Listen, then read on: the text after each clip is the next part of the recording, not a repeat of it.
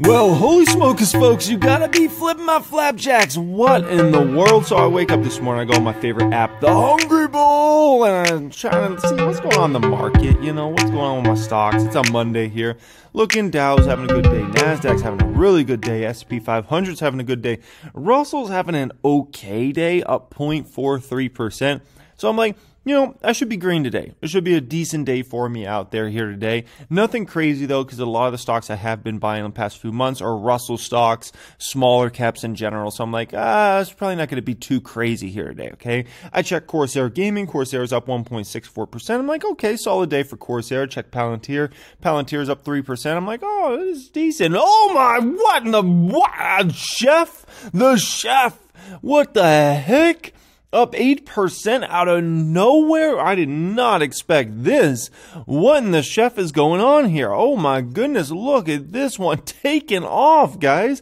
We got to talk about the chef in this video, okay? What's going on here? How do I view this whole situation here today? Like, just out of nowhere, up 8%? What in the world? You got to be flipping my flapjacks, okay? So, um, a couple things I saw out there and I don't know if either of these are behind this move in the chef here today.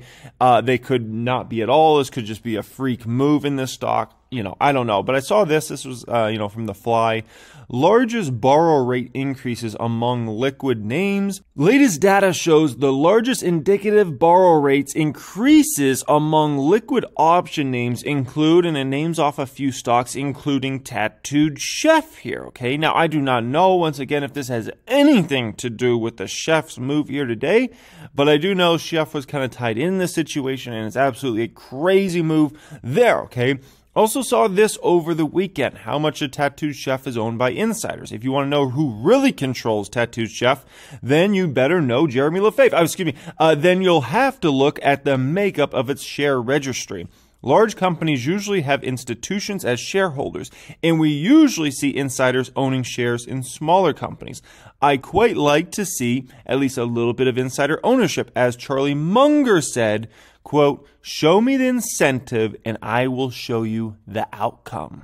Powerful words from a wise Charlie Munger there. Tattooed Chef is not owned by hedge funds. Looking at our data, we can see that the largest shareholder is the CEO, Salvatore Galletti, Sam Galletti, with 39% of shares outstanding. Meanwhile, the second and third largest shareholders hold 3.9% and 3.7% of the shares outstanding, respectively.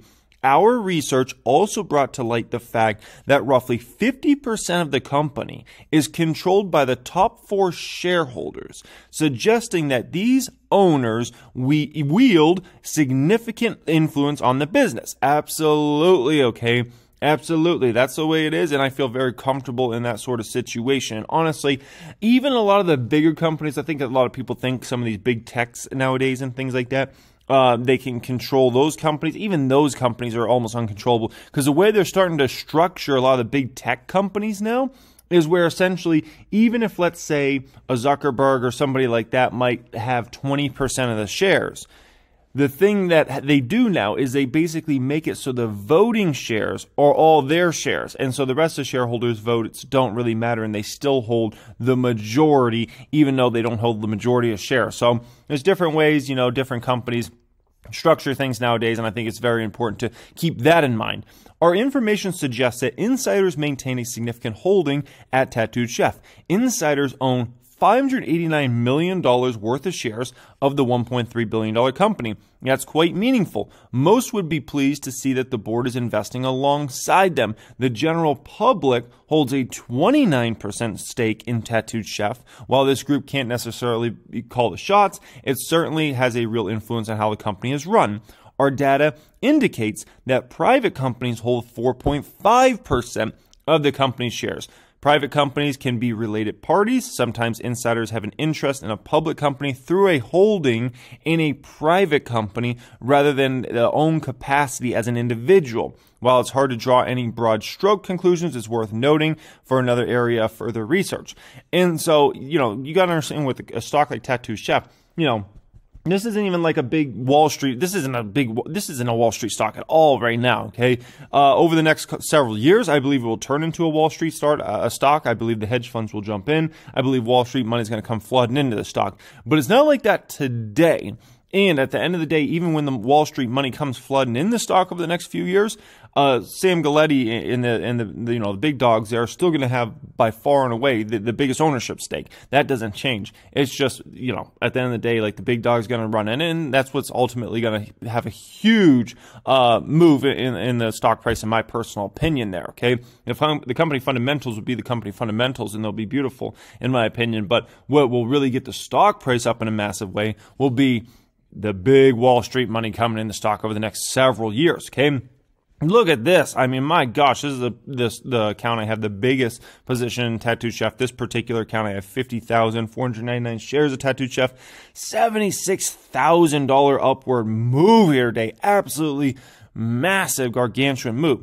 Now, okay, so the question and the next question is going to be, well, is this just a one day dealio? Um, is this going to all go away tomorrow? And the stock's down 9%. And it's like, oh, that was a fun one day. And then it's back down 8, 9%, whatever. I mean, you know, still uh, about an hour and a half of in the trading day left. So we'll see kind of what happens there. You know, so my personal opinion on this is first off, who could have seen this move up here today, where the stock is up eight nine percent here today? Like truly, who could have saw this move? Uh, I surely didn't see this move happening today, right?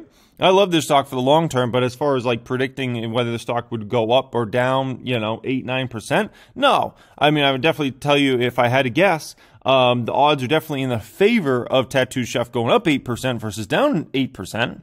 But in terms of the volume coming in the stock like a beast today, no, I could never have predicted this. No one could have predicted this would happen today. I mean, look at the volume on the, these shares today. 2.4 million shares have traded, and we still got over an hour and a half left in the trading day. When usual volume is 1.6 million. Okay, so this is a this is obviously in, in right from the jump. Even if you look at kind of the beginning of the day here today, I mean, right off the bat, it started in the 17s, and then from there it just went up, and next thing you know, it was in the 18s, right? So, you know, these sorts of moves, no one can predict this. Whether the stock's down, up, 7, 8, 9% tomorrow, I have no clue. And I don't think anybody has any clue about that. Uh, we will say that, okay? But at the end of the day, like, you know, focus on the long term. That could be the biggest thing I could tell folks. Focus on the long term. You know, if this stock's up, let's say another 7, 8, 9% tomorrow, I'm not going to sell the stock. I'm not popping champagne bottles. It, it is what it is. I think the stock's going to be an incredible beast over the next five years. So whatever happens tomorrow doesn't matter. I'm not going to, if the stock's down 8% tomorrow, I'm not going to cry myself to say, oh, the champagne went down 8% today. Like it is what it is, guys. You got to focus on the long term in these things. You got to know how to value companies, take advantage of great deals in the market and uh, make some dang money. And then that's how it's done, folks. So, anyways, hope you enjoyed this. As always, if you want to download literally everything I possibly know about picking stocks, making money from stocks, running portfolios, things like that, as well as reading financial statements, all those sorts of things, check out the pinned comment down there. You don't want to play this game with a blindfold on. Take that blindfold off. You got to know what you're doing out there. Much love as always, guys, and have a great day.